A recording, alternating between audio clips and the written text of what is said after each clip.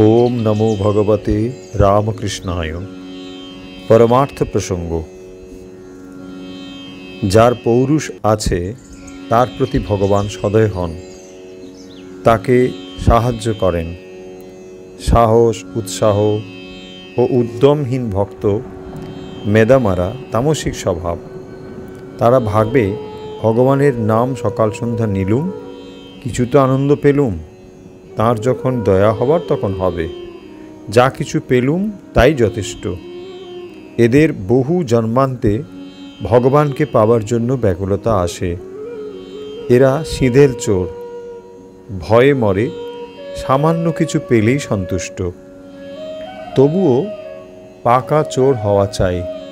জাগা ঘরে চুরি কিনা? দিনহীন ভাব স্বামীজি দু চক্ষে দেখতে পারতেন না। বলতেন, ও নাস্তিকতা, ওগুলো ব্যারাম। নেই নেই করলে তাই হয়ে যায়। ও কি দীনতা? না গুপ্ত অহংকার। আমি পাপি, আমি অতি অপদার্থ, দুর্বল, এই রকম ভাবতে ভাবতে আরও তাই হয়ে যায়। নায়মাত্মা বলহীনেই না লভ্য। যাদের শরীর মন দুর্বল, তাদের ধর্ম হয় না। তাদের দ্বারা কোনো কাজই হয় না। ও লক্ষ্মী ছাড়া ভাবগুলোকে কুলোর বাতাস দিয়ে বিদেয় করে দেবে। বরং বলো অস্তি অস্তি আমার ভেতর অনন্ত শক্তি রয়েছে। সেই শক্তির উদ্বোধন করতে হবে। যে আপনাকে সিংহ ভাবে, সে নির্গচ্ছতি জগৎ জালাত পিঞ্জরাদিব কেশরী। সিংহ যেমন পিঞ্জর ভেঙে বেরিয়ে পড়ে তেমনি সে জগৎরূপ জাল ছিঁড়ে মুক্তি লাভ করে।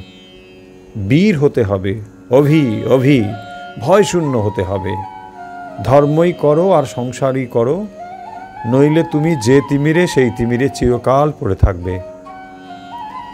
নিজের ও অপরের কল্যাণের জন্য যা কিছু করা যায় তাই ধর্ম, বাকি সব অধর্ম।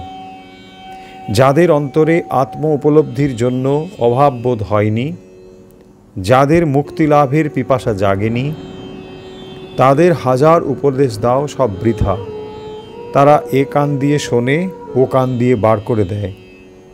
আমাদের দেশে মূর্খ, চাষাভূষরাও দার্শনিক।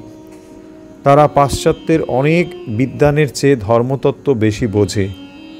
ব্রহ্মসত্য জগৎ মিথ্যা, এ কথা তো ছেলেবেলা থেকেই শুনে আসছি। জমি তৈরি না হলে ও সময় মতো ভালো বীজ না পড়লে কি আশানুরূপ ফল উৎপন্ন হয়? যাদের বিষয় রস শুকিয়ে এসেছে, তাদের অনুরাগ খড়ের গাদার আগুনের এক ফিনকি পড়ার মতো। একটুতেই ধু ধু করে জ্বলে ওঠে।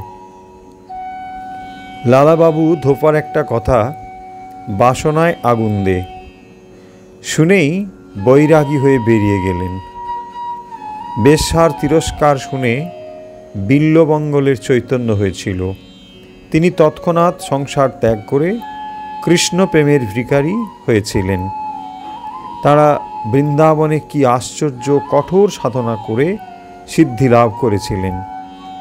এই জন্মেই যাদের হবার হয়, তাদের এমনি করেই হয়। মনে প্রাণে সরল হতে হবে।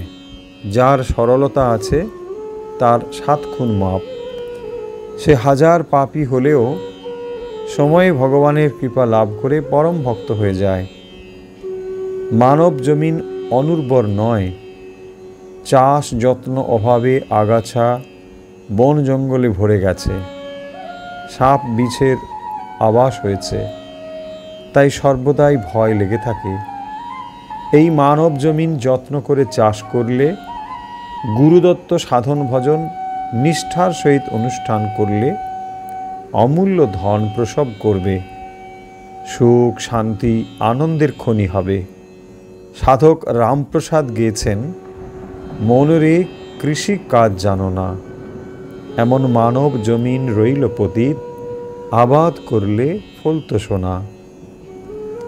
জগতে জড় বলে কোনো বস্তু নেই যাকে আমরা জড় বস্তু বলি, তার চেতনা তমসাবৃত মাত্র সেই তম আবরণ সরিয়ে নিলে দেখবে মায়ার অন্ধকার দূর হবে, চৈতন্য শক্তির প্রকাশ হবে, জগৎ চৈতন্যময় জ্ঞান হবে, আনন্দ উৎস উতলে উঠবে।